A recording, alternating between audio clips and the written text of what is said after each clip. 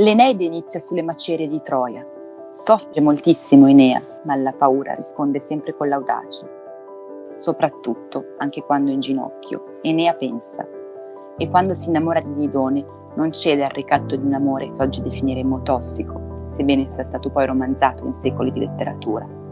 Quando sbarca nel Lazio, una terra che vorrebbe chiamare casa, si trova davanti un manipolo di selvaggi, gli italici, che per inciso siamo noi la battaglia che condurrà è soprattutto di tipo culturale.